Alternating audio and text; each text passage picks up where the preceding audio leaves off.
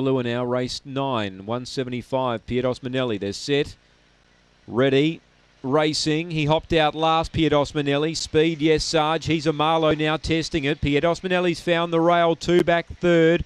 So he's really close there. He ran wide, gets into third though.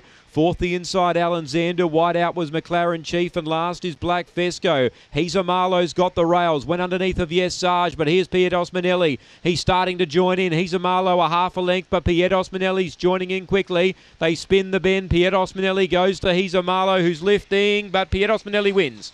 From He's a Marlow, Yes Sarge, and Alexander. Close up McLaren Chief and Black Fesco back at the rear. Well, the small field played into his hands, Piedos Manelli.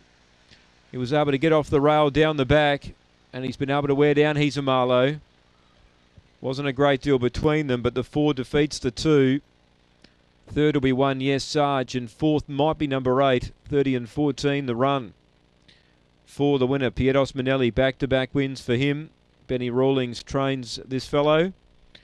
And the small field certainly played into his hands tonight. He was a bit tardy away. He found the rail down the back and then he wanted to hook wide on that first corner, and in, uh, the smaller field certainly enabled him to do that. Two second, he's a Marlow. Another good run by him. He's a very consistent dog. One third, yes, Sarge. And the camera for fourth, resting between the eight and the five here. Uh, 4.49 early, 12.98 on the way home.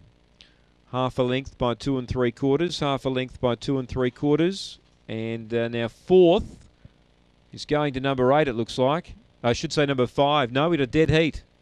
A dead heat for fourth. So take note of dead heat between the five and the eight.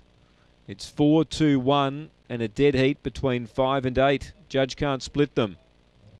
Four, two, one, dead heat five and eight after race nine.